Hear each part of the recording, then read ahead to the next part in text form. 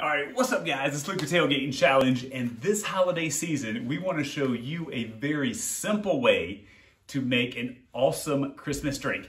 And so it's really simple. Let's check it out. This is gonna be an infused whiskey. So for you whiskey fans out there, make sure you tune in because this is a super simple way to take a regular bottle of whiskey and bring some Christmas spirit to it.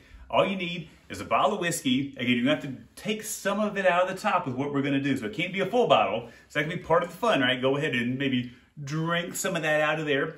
And then so you get something that maybe is about 75% uh, full, roughly, depending on how much of this you put in there. So the next things we gotta do, we gotta chop up an apple and we gotta get our cinnamon sticks in there because we're gonna make this an apple cinnamon whiskey. Let's get this thing started.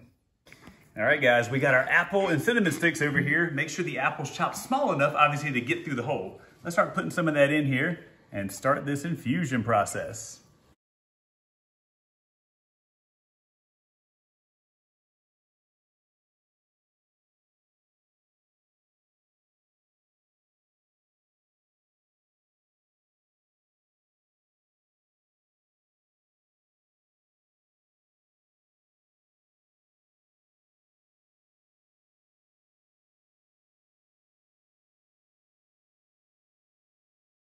You can see why you don't want to have the entire bottle filled with whiskey because otherwise you're going to come out the top.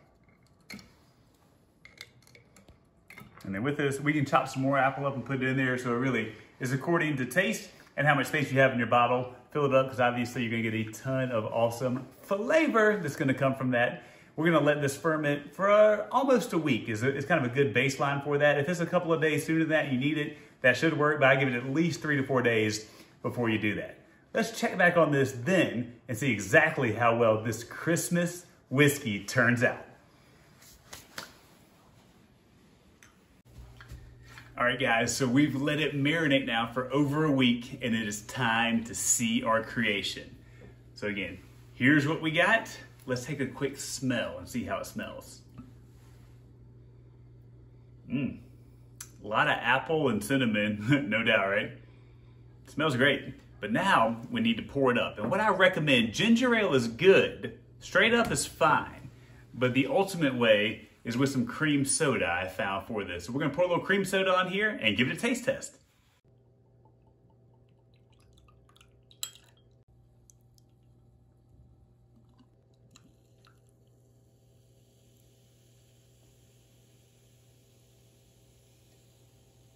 All right, guys, we've got it. Now for the moment of truth.